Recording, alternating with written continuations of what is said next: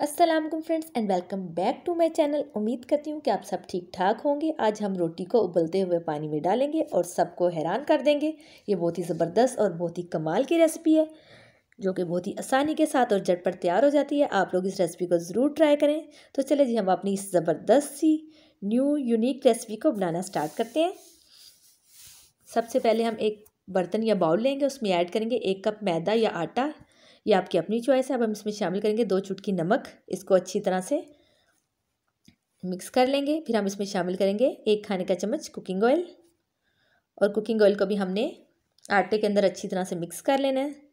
अपने हाथों की मदद से इसको बहुत ही अच्छी तरह से मसल लेना है सारा, ताकि ऑयल सारा आटे के अंदर मिक्स हो जाए। अब हम इसमें शामिल करेंगे हाफ़ कप के करीब पानी और हमने इसको पानी थोड़ा थोड़ा करके शामिल करते जाना है और हमने इसको मिक्स करते जाना है, फिर हमने इसको गूंद लेना है। इसकी हमने एक सॉफ्ट सी डो बना लेनी है। ये इस तरह से मैंने आटे को गूंद लिया और इसकी एक सॉफ्ट सी डो तैयार हो गई है। और ये देखें, इसको हम थोड़ी देर के लिए रेस्ट दे देंगे दस मिनट के लिए, फिर हम इसको सेंटर में से हाफ़ करेंगे। इसके दो पेड़े बना लेंगे। और ये मैंने इसके दो पेड़े बना लिए। अब हम एक पेड़ा उसमें से उठाएँगे और थोड़ा सा मैदा डस्ट करेंगे या आटा डस्ट करेंगे और इसके ऊपर हमने इसको बेल लेना है और आपने इसको बहुत ही बारीक और पतला बेलना है।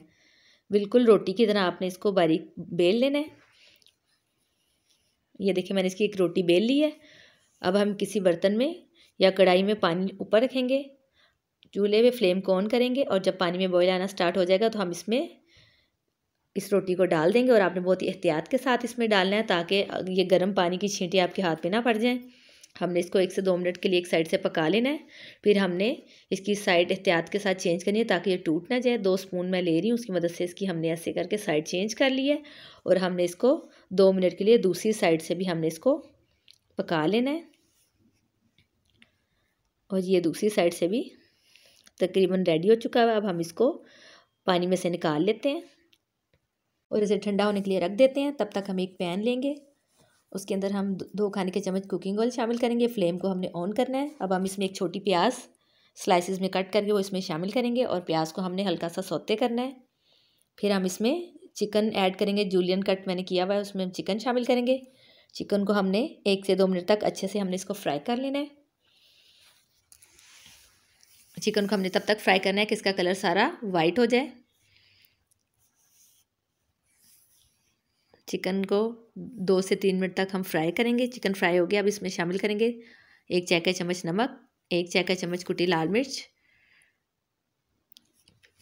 स्पाइसेस ऐड करने के बाद हमने इसको एक मिनट के लिए मज़ीद पकाना अब हम इसमें शामिल करेंगे एक खाने का चम्मच सोया सॉस, एक खाने का चम्मच फैट सिरका और एक खाने का चम्मच इसमें हम ऐड करेंगे चिली सॉस।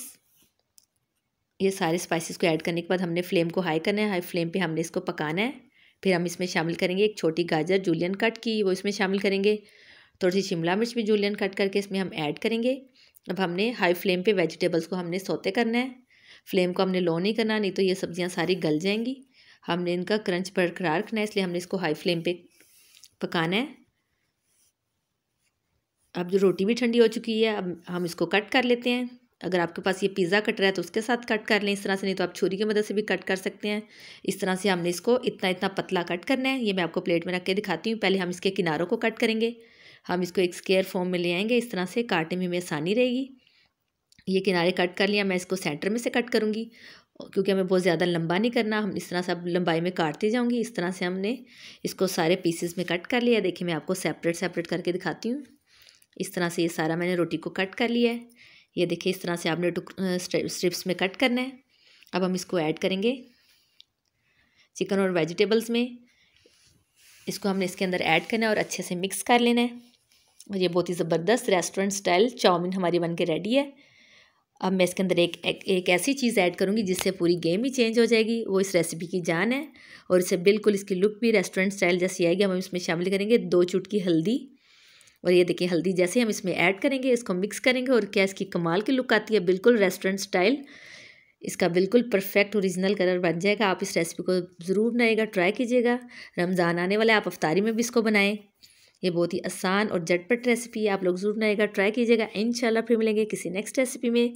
तब तक मुझे इजाज़त दीजिए, अपना बहुत सारा ख्याल रखिएगा, स्टे सेफ़, अल्लाह हाफिज़। Thanks for watching my video आप मेरे चैनल को सब्सक्राइब करें लाइक करें एंड शेयर करें और बेल आइकन का बटन भी प्रेस कर दीजिए ताकि मेरी आने वाली हर वीडियो आपको सबसे पहले मिल सके. Thank you